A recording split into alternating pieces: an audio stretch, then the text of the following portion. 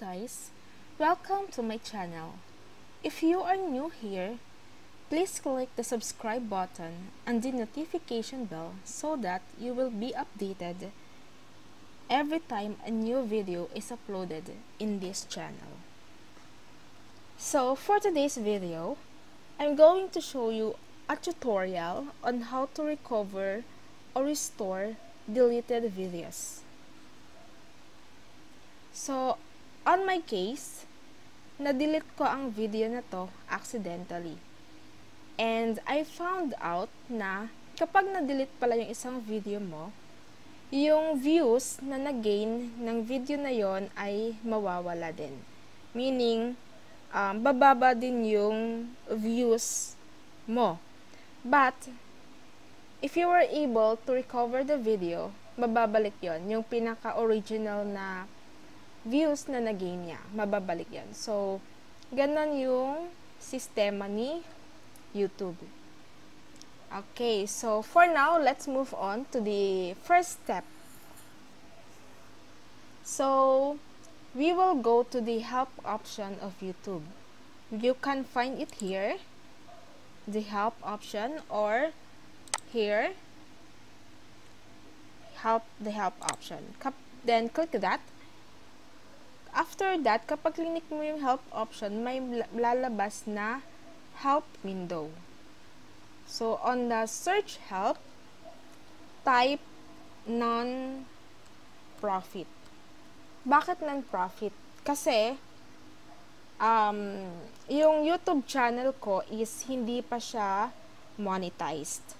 So, that means we are under the YouTube non-profit program kasi hindi pa monetize yung YouTube channel natin. So, after typing the non-profit, kailangan makita nyo to. Itong YouTube non-profit program overview. Click that. Okay. Then, hanapin natin yung program features niya. Here. Okay, so as a YouTube nonprofit program partner, you have access to these features specifically designed for partners. So, dito tayo sa dedicated technical support. Since we need a technical support. Okay, click that and then scroll down. So, we're here to support YouTube nonprofit program partners with any issues setting up your nonprofit channel on YouTube. Learn how to contact us. So, we need to click the contact us link. Okay, so mapupunta tayo dito. Click the bot the contact button below to tell us about an issue you're having and get dedicated email support to help resolve it. So we need to click this button, contact us. Okay. So contact YouTube non-profit support. Scroll down. So here, kailangan fill upan natin yung mga information na kailangan kailangan para makapag-send tayo or mai-submit natin yung concern natin YouTube. So, we need to enter your name. So, please enter your name. So, in this field, I just put my YouTube channel, the name of my YouTube channel. Kim Rihanna. Okay? So, and here on the organization's name, actually, I just put uh, NA, not applicable. So, they also need your channel URL. So, paano mo malalaman kung ano yung channel URL natin? So, balik tayo sa YouTube channel mo. Okay? Then, punta tayo sa settings. Then, you have to go to advanced view advanced settings. So, dito natin makikita yung channel URL. So, makikita mo dito yung user ID, channel URL, yung custom URL mo. Ayan. So, we just need to copy this. Click copy. And then, paste it here. Paste. Okay, so nandito na yung channel URL mo. Next is, you have to enter your non-profit registration number. So, hindi ko alam kung ano ang ibig sabihin nila dito, but I just put random numbers to fill this up. Uh, we, we will use um, 1, 2, 3, 4, 5, 6, 7, 8, 9. Okay, that will do actually. Then, okay, so you, they also you need YouTube partner username. So still I don't have any. I just put my channel name. Okay? Then, kailangan din nila ng YouTube email address. So, kailangan nila ng YouTube email address kasi dito sila magre-reply. So, kailangan yung email address na ilalagay mo dito is active at nabubuksan mo. Kasi magsisend sila dito ng response nila. Then, next is, if this issue affects a particular video, please specify the video here. So, para ma-specify mo ang video, kailangan i-enter mo yung 11-digit video ID only. Your video ID is the 11 characters following question mark V equals in your video URL. So, yung tinatawag na URL, it is the uniform resource locator of a certain page on the internet. So, lahat ng bagay sa internet may URL. Okay? So, makikita natin yung URL dito sa taas. So, ito yung tinatawag na URL. So, dito sa option na to, kailangan daw natin i-input yung 11-digit video ID. So, kailangan alam mo yung URL ng video na na-delete mo. On my case, I was able to to um, check the URL kasi every time na mag-upload ako ng video sa YouTube, sinishare ko rin siya kay Facebook and then pinopost ko rin doon yung URL. So, okay, hanapin natin yung video na yon dito sa Facebook account ko. Okay, medyo matagal na kasi yon kaya medyo mag-i-scroll tayo. Okay.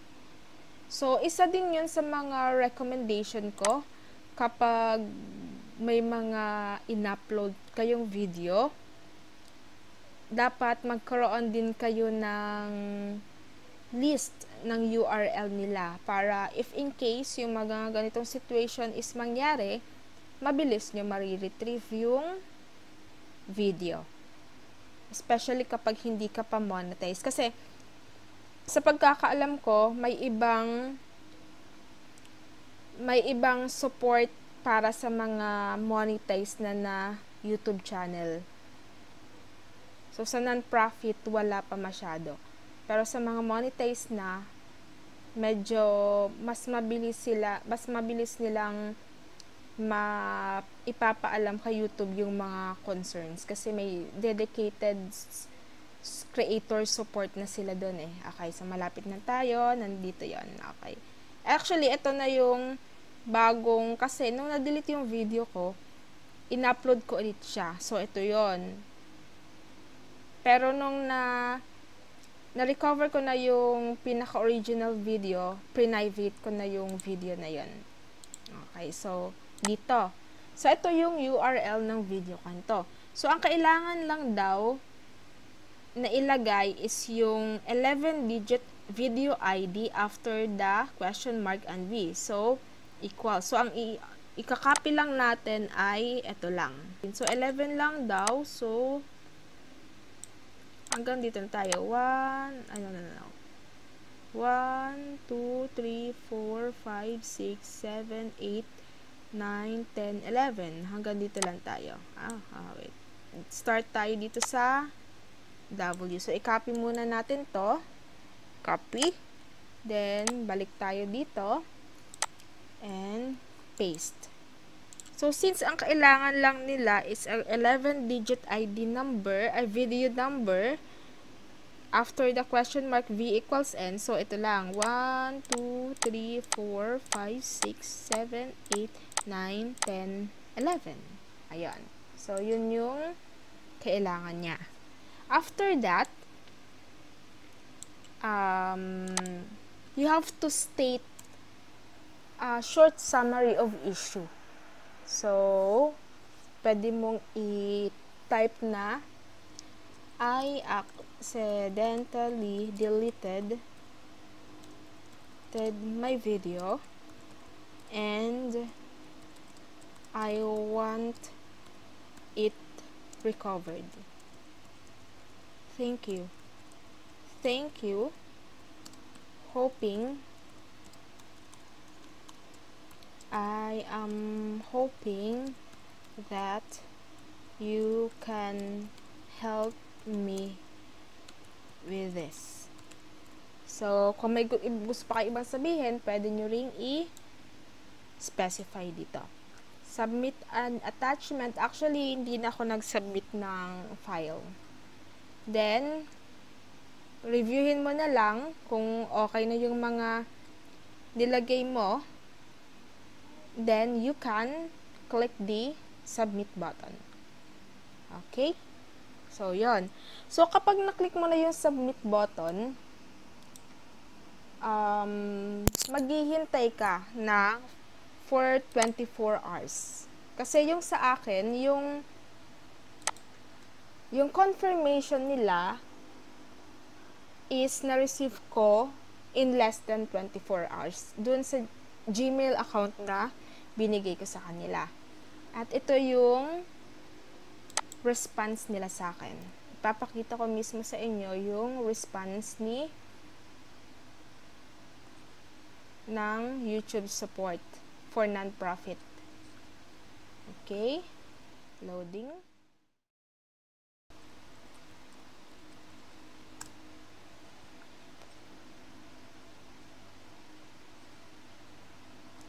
Papakita ko sa inyo yung email. Yung create, dito, ito, ito yon creatorsupport at youtube.com. So, ayan. So, na-receive ko yung reply in less than 24 hours. So, ito yung sinabi sa akin. Hi Kim, thanks for reaching out. I understand you want to reinstate a video. Kapag sinabi natin reinstate is recover or para or yan, ma-recover ulit yung na-delete na video. Especially if it's one of your most viewed video. Kasi in-indicate ko dun sa sa message na yung video na yon yun yung may pinakamaraming views that time. Let me help you with this. Since this is a sensitive issue, kindly fill up the form with the necessary details. Ayan. So, ito yung mga details na hiningi niya sa akin. Yung link to specific video, yung URL ng video, Please certify that you are the owner of this video. Ayon. Please certify that you are requesting the YouTube team to reinstate this deleted video on your behalf. Mark. So, then, okay. So, nag-reply, nag-reply ako dito. So, kinopy-paste ko lang ito. Copy. Then, ayan. Ito na yung uh, reply ko sa kanila. Yung link ng video, I certify na yung video na yon is ako yung owner. And then, I request, I certify na nire-request ko sa kanila na i-reinstate yung na-delete ko na video. So, nag, unang nag, sila sa akin, nag-email is 6.14 a.m. November 27. Nag-reply ako ng umaga. And then, I received their feedback in the evening. Ayun. So, eto na yung na-reinstate na video. Great great, uh, great hearing from you. Thank you for all the information. I have a good news. We were able to reinstate your video. Don't hesitate to contact me if you have any other questions. So, yon Yun yung mga yun na yun. So, pagka send ng email na yan, nandito na din yung video. Then, pagka-check ko sa YouTube account ko, nandun na din siya. Naibalik na rin siya. Ayan. So, those are the simple steps on how to recover your deleted video on your YouTube channel, especially kapag hindi ka pa monetize. Okay? So, I hope na nakatulong yung video na to sa inyo. And, please, don't forget the to click the subscribe button and the notification bell so that updated kayo sa mga susunod ko pang video. Thank you so much for watching.